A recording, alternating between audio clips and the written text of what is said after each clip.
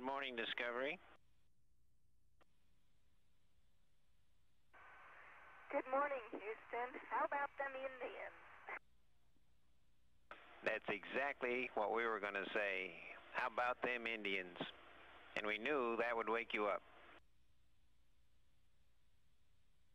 Sorry to beat you to it, but that's a great choice of music. Uh, the Indians are doing fantastic. We're so happy. Sure are. Just like you all up there.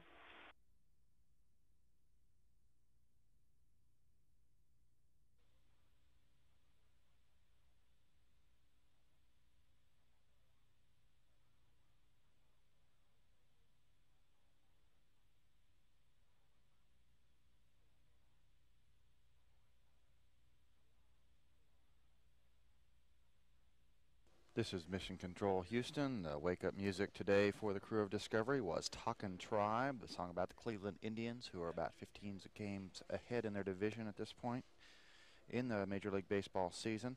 Four of the members of the Discovery crew are from Ohio and taking a lot of pride in the Indians' performance this year.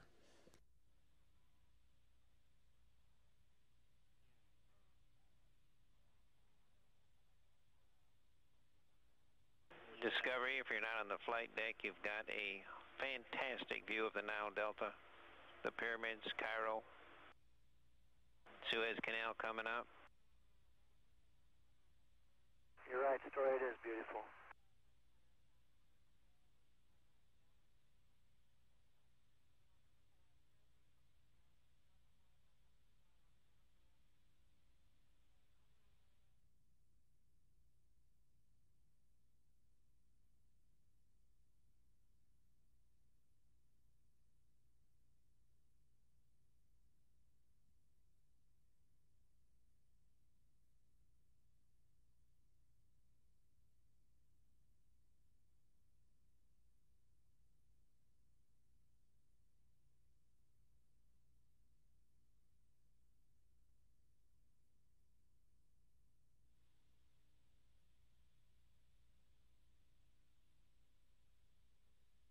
Discovery Houston for Mary Ellen. No action on the BDS message. Copy.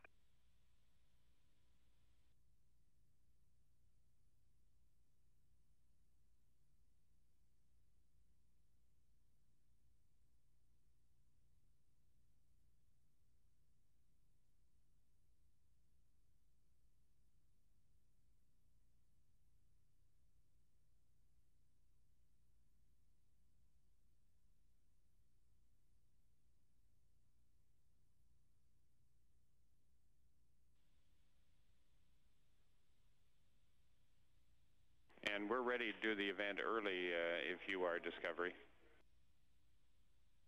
We're ready, Mark. Discovery, this is Houston. Are you ready for the event? Houston Discovery, we are ready. CNN, this is Houston. Please call Discovery for a voice check. Discovery, this is CNN. How do you hear me? CNN, this is Discovery. We have you loud and clear. You guys look good this morning. We'll um, we'll get started. I'm going to do a little 10 second, you know, hello and who you are, and then we'll just plunge in. Um, my order of battle here is to go uh, Mary Ellen first, and then Nancy, and then Don, and um, if that makes. I'm going to try to do it as three separate things, so you guys don't have to play past the microphone in this delay, you know, during the interview. Where are you? We're on the mid deck of Discovery.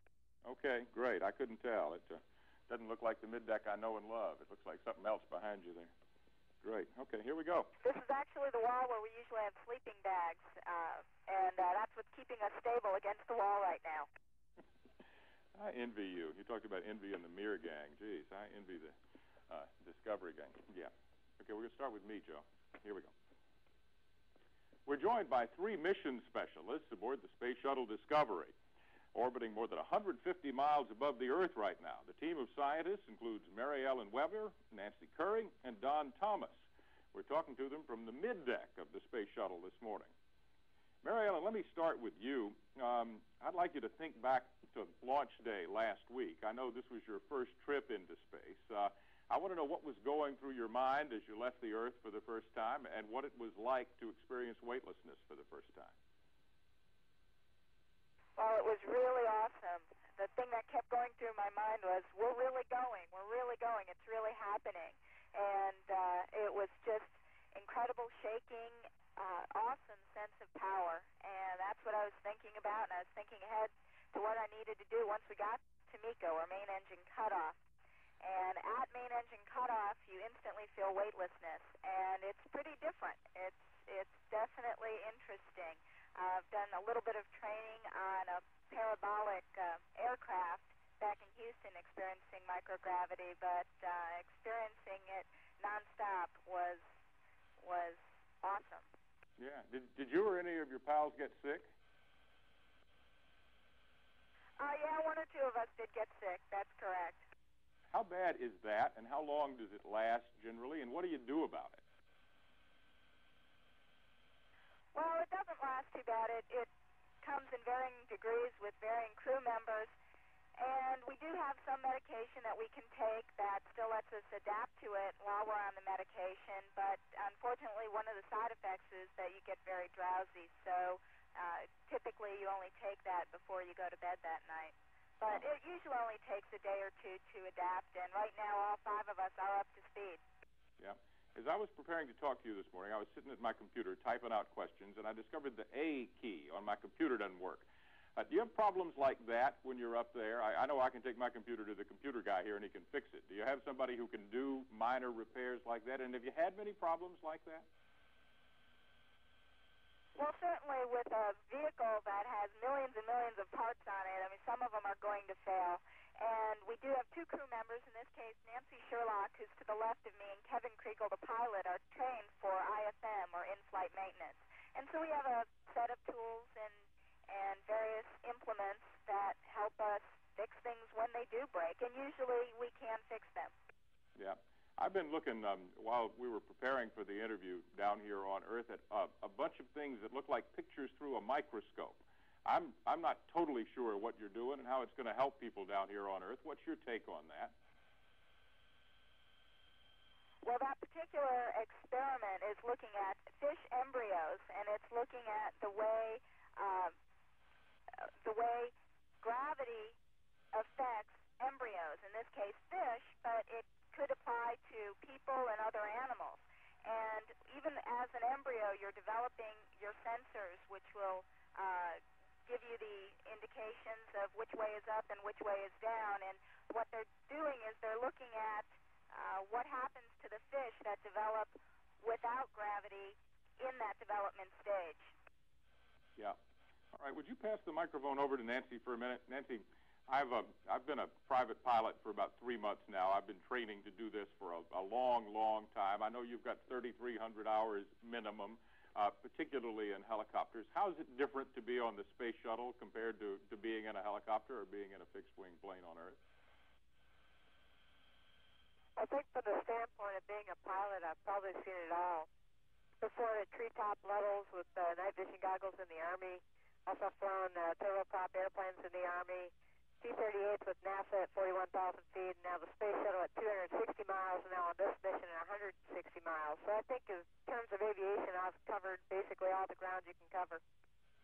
is it a lot different in in uh, reality for the uh, for the launch and in the practice that you've done for the landing? Is it uh, is it a lot different as a pilot to, to bring this thing down than it would be to, to bring down a, a helicopter or an airplane?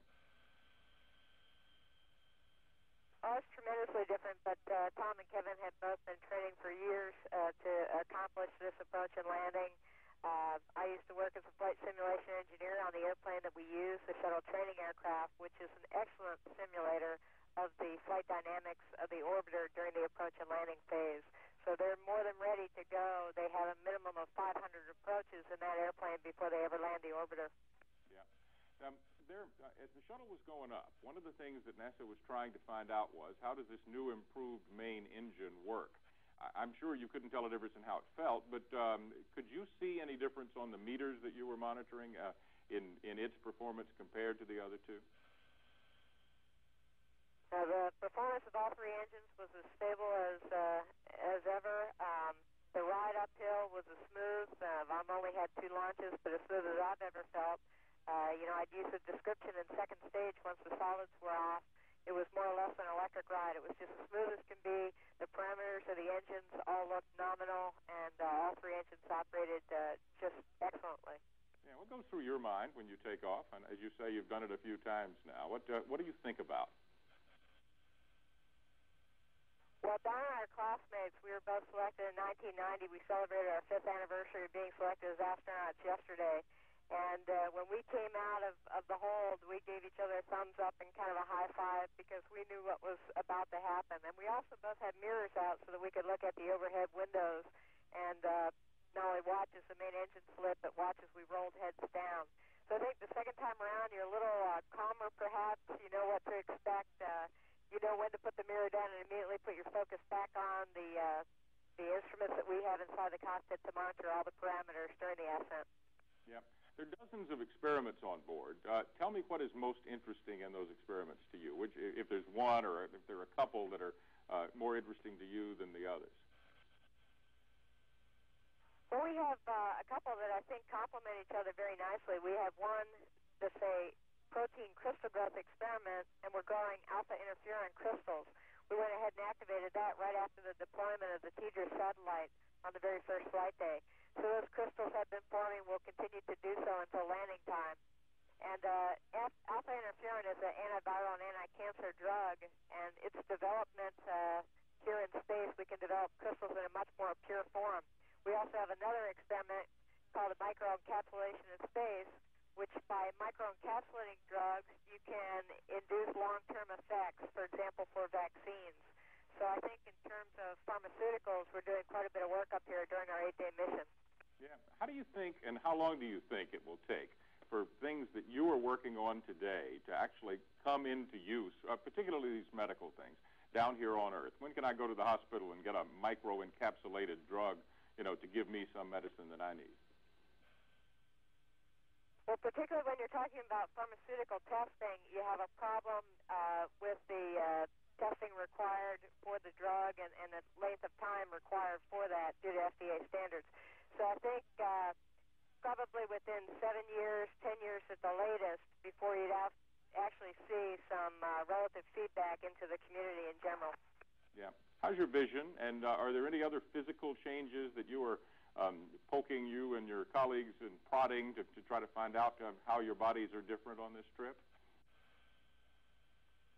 Well, I always enjoy space because uh, you tend to grow about one percent, and being five foot, it gives me a chance to be actually five foot one or five foot two for a short time.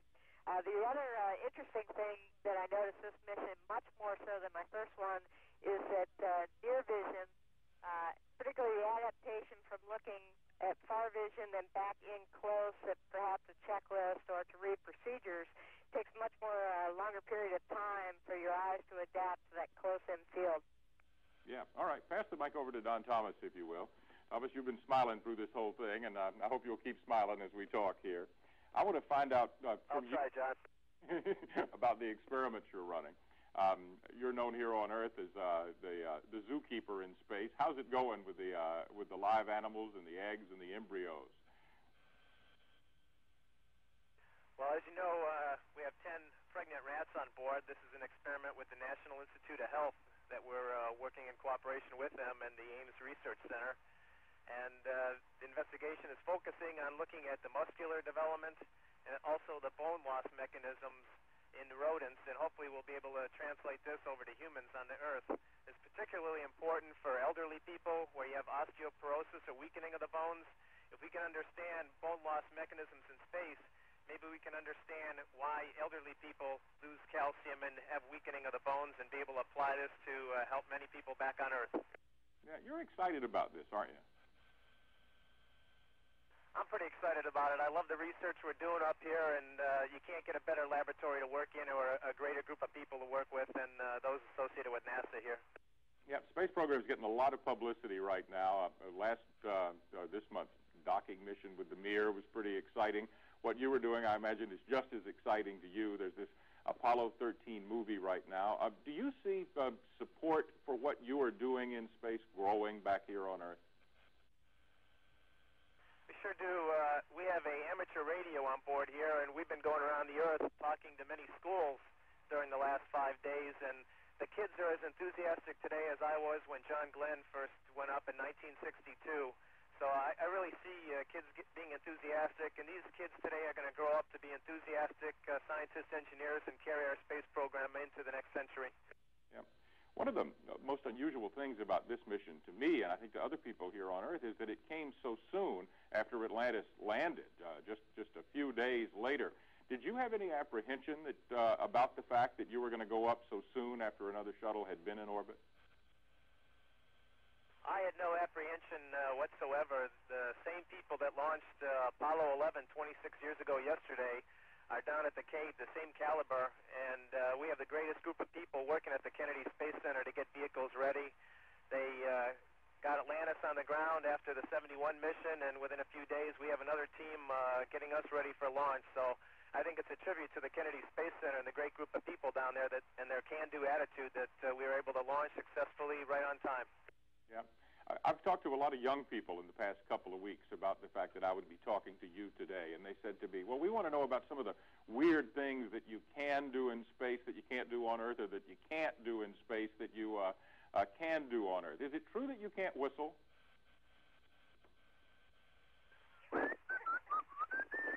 Okay. But John, I could never really whistle that well, but you you can still do it up in space. How about smell and taste? Uh, one of our assignment editors said. Uh, how bad is the food up there? The food is it's uh, typical like camping food. Um, I've had better food in restaurants and I've had worse food than up here, and uh, it, it's it's good enough to get us through the mission. Some of the selections that we get to make, uh, I really enjoy. Other ones, I'm not too wild about. It's really an in- individual thing here. As far as taste and smell goes, uh, some astronauts experience a, a blandness in space where they need spicier food, but for myself, the same foods that I enjoy on Earth, I enjoy up here, such as stadium mustard from Cleveland, Ohio.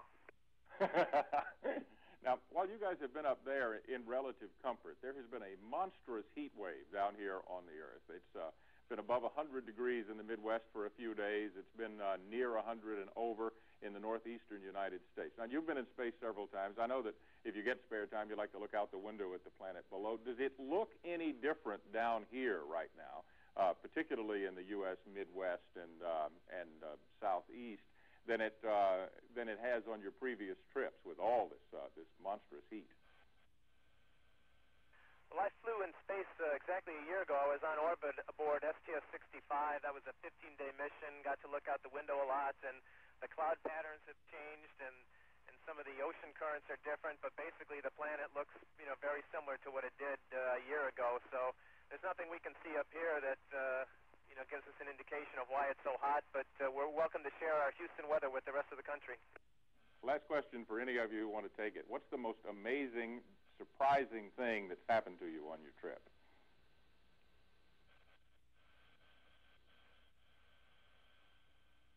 The view out the windows. Uh, it is just incredible and amazing. Last night before going to bed, the last thing we saw was a, a sunset, and it was just spectacular. Words can't describe it. All right. Thank you, all three, for joining us on CNN today. Thank you. Goodbye. Houston, CNN, that concludes the event.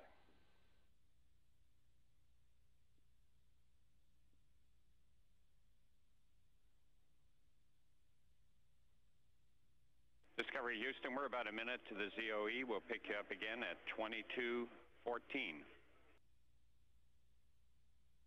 See you at 2214, Mark. Great interview.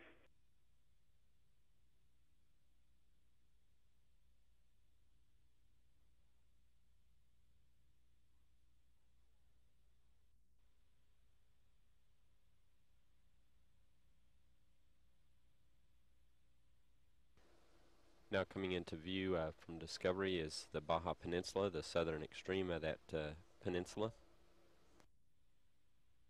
and the Gulf of uh, California.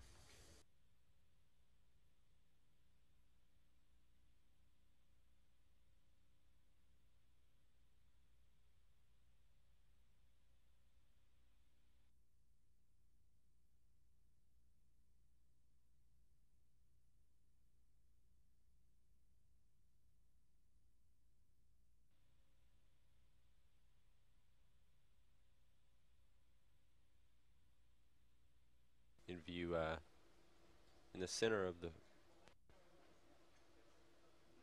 screen is uh, Miami. So it zooms in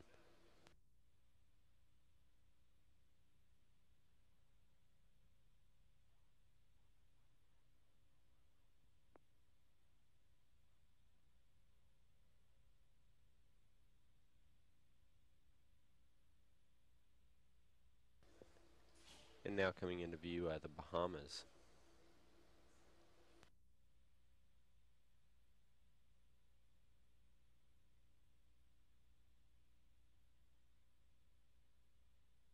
The island of Andros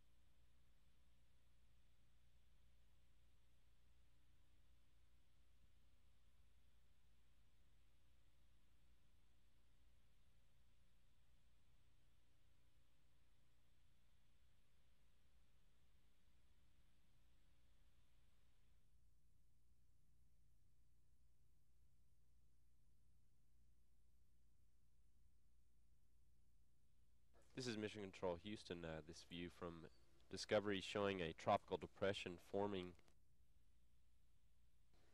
in the Pacific uh, south of the tip of the Baja Peninsula. This is uh, an as yet unnamed storm, uh, just a tropical depression uh, in its early stages.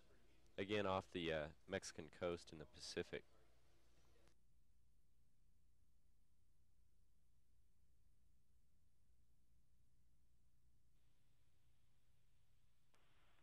Houston, we had about 10 seconds of that pinched cable. Now we have the picture again.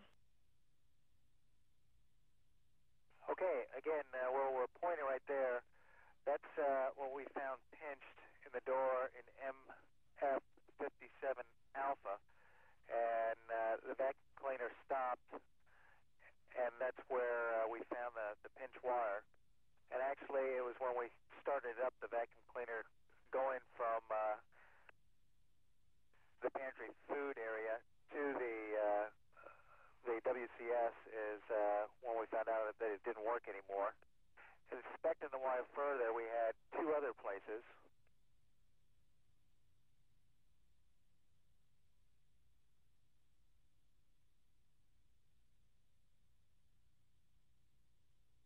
Those are two other places we discovered on the wire that also had some damage. So we cut the wire, and the wire status right now is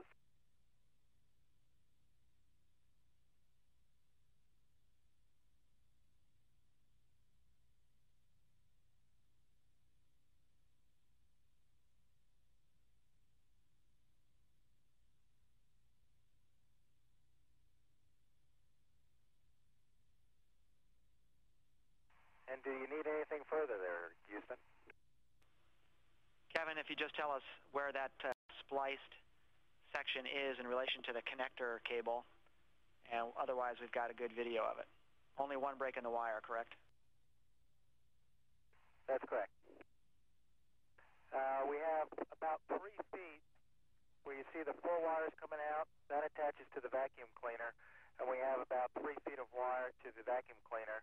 And then the rest of the wire goes to the connector.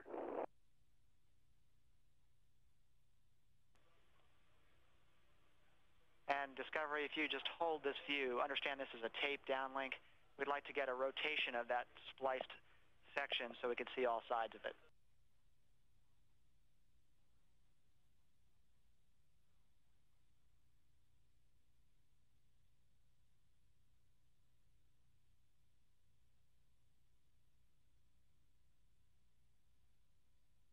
Discovery, we have all the video we need there. Thank you. Great work.